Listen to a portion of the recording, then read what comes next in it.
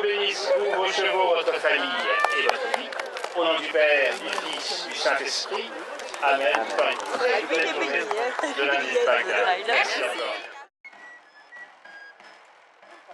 L'histoire remonte aux 15 cavaliers du ranch des 3D, qui suggérèrent à l'abbé Joseph Ray de bénir leurs chevaux.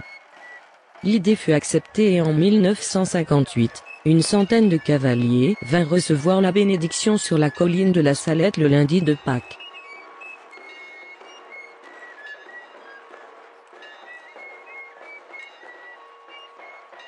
Soixante bénédictions se sont succédées réunissant à le plus belles heures plus de 400 cavaliers, de tous sexes et âges, le plus jeune cavalier ayant moins de 3 ans.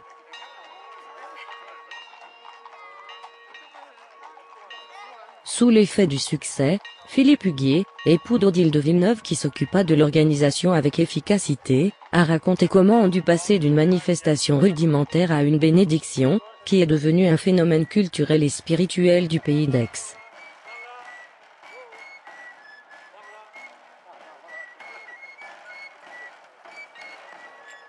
deux semaines la dernière.